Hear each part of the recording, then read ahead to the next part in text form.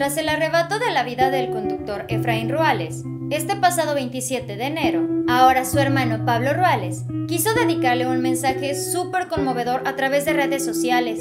En su cuenta de Instagram, Pablo publicó una foto al lado de su hermano, quien lamentablemente perdió la vida después de recibir varios impactos mientras él se estaba trasladando del gimnasio a su casa.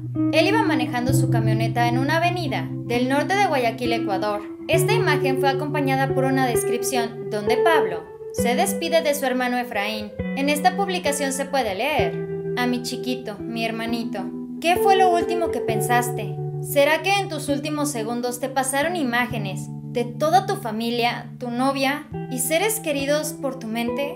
¿Será que padeciste? ¿Será que te preocupaste más por nosotros que por tu malestar y lo que sentías? ¿Por qué te hicieron esto? Queda un mar de preguntas sueltas. Sé que esto marca un antes y un después en mi vida y en la de todos los que te conocieron y disfrutaron de ti.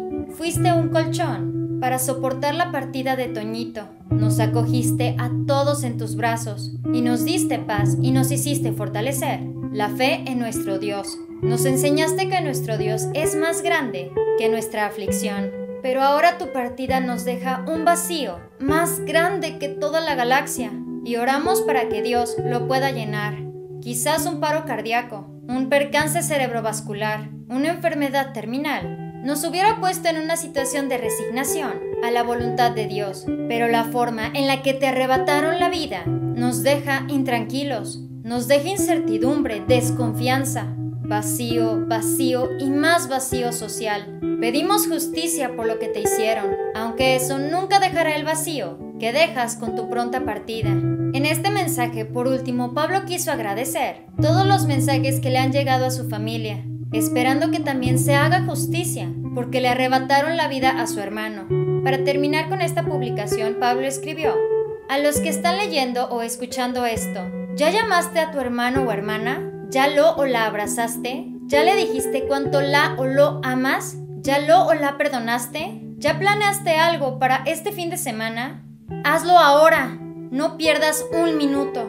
Yo pido a gritos por volverlo a ver, volverlo a abrazar, decirle que lo amo, decirle, ¿qué más hermano? Te amo. Sí, todos me van a decir que igual, me escucha, pero no es lo mismo.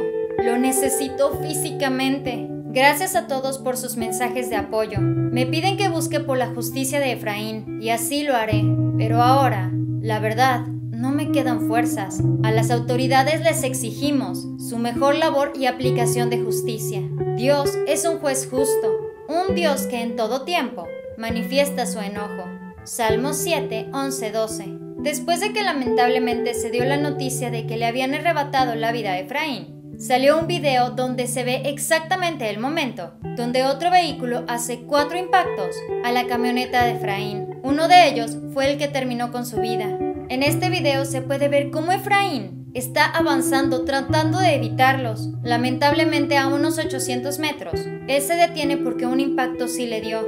Se dice que de inmediato llegaron las autoridades correspondientes para poder auxiliarlo. Sin embargo, en ese momento él ya no tenía signos vitales. Este fue el Muro de la Fama. No te vayas de este video sin antes suscribirte a nuestro canal de YouTube dando clic aquí abajo, al igual que seguirnos en nuestra página en Facebook. Recuerda que estamos subiendo contenido todo el tiempo, así que ahora yo te recomiendo que veas este siguiente video. Espero que tengas un excelente día, nos vemos muy pronto. Bye.